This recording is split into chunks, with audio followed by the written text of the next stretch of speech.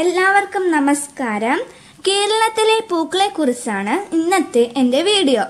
എല്ലാവർക്കും അറിയാവുന്ന കണിക്കൊന്ന സൂര്യകാന്തി തുടങ്ങിയ പൂക്കളോടൊപ്പം അധികമാർക്കും പരിചയമില്ലാത്ത ചില പൂക്കളും ഈ വീഡിയോയിൽ കാണാം.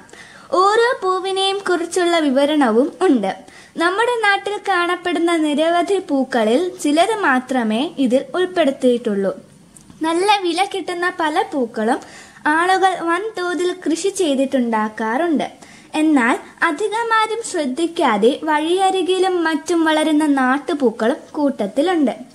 നട്ടുപിടിപ്പിക്കാനൊന്നും ആരും മിനക്കിടാത്തത് കൊണ്ട് ഈ നാട്ടുപൂക്കളിൽ പലതും അപ്രത്യക്ഷമായി കൊണ്ടിരിക്കുക അവയിൽ ചിലത് ഇതാ.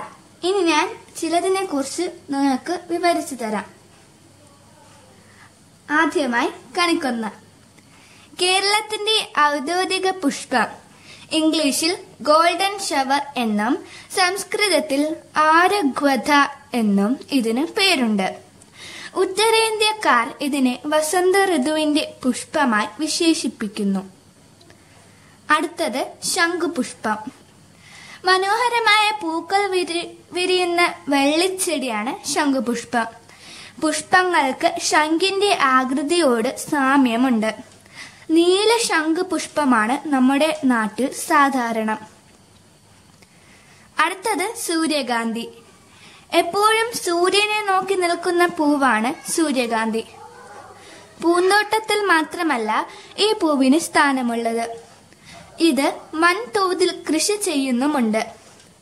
കേരളത്തിൽ ഇല്ലെന്ന് മാത്രം മഞ്ഞ നിറത്തിന് പുറമേ ഓറഞ്ച് വെള്ള ചുവപ്പ് നിറത്തിൽ പൂക്കൾ ഉണ്ടാകുന്ന സൂര്യകാന്തികളുമുണ്ട്.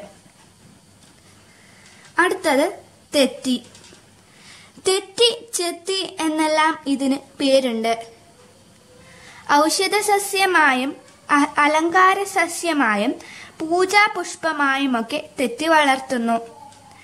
ചുവപ്പ് മഞ്ഞ വെള്ള ഓറഞ്ച് തുടങ്ങിയ പല നിറത്തിലുള്ള തെറ്റിപ്പൂക്കളുണ്ട്. അടുത്തത് നിശാഗന്ധി.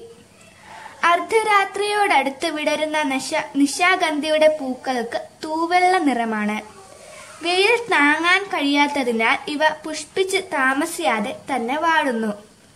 നിശാഗന്ധിയിൽ പാരാഗണം നടത്തുന്നത് നിശാശലഭങ്ങളാണ്.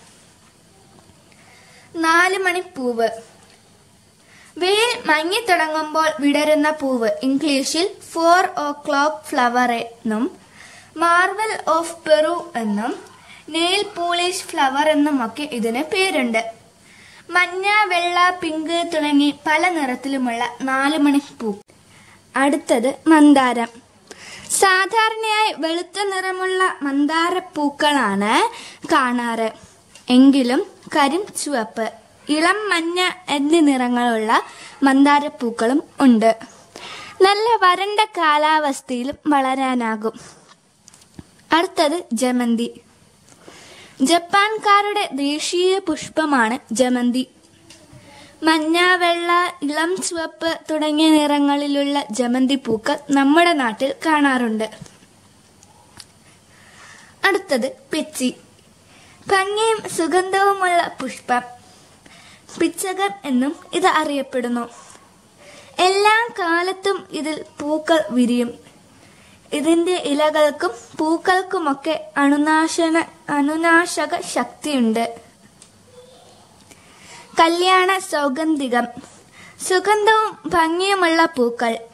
വെള്ള നിറത്തിലും ഇളമഞ്ഞ നിറത്തിലും കാണപ്പെടുന്നു. ഇഞ്ചിയുടെ കുടുംബത്തിലാണ് ഈ ചെടിയെ ഉൾപ്പെടുത്തിയിരിക്കുന്നത്. അവസാനമായി ചെമ്പകം. ക്ഷേത്രാങ്കണങ്ങളിൽ വളർത്തുന്ന പുണ്യ വൃക്ഷങ്ങളിൽ ഒന്ന് മഞ്ഞ വെളുപ്പ് ചന്ദനം എന്നീ നിറങ്ങളിലുള്ള ചെമ്പകപ്പൂക്കളുണ്ട്. ആകർഷകമായ സുഗന്ധമാണ് ചെമ്പകപ്പൂവിന് ഏറ്റവും വലിയ പ്രത്യേകത. ഇതേപോലത്തെ കുറെ ക്രിയേറ്റീവായിട്ട് വീഡിയോസ് ഇനിയും ഞാൻ ഇടുന്നുണ്ട്. അപ്പം അതെല്ലാം നിങ്ങൾ കാണണം. ഈ വീഡിയോസ് ഇനിയും ഇതേപോലത്തെ വീഡിയോസ് ഇനിയും വരണമെങ്കിൽ നിങ്ങൾ സബ്സ്ക്രൈബ് ചെയ്യണം.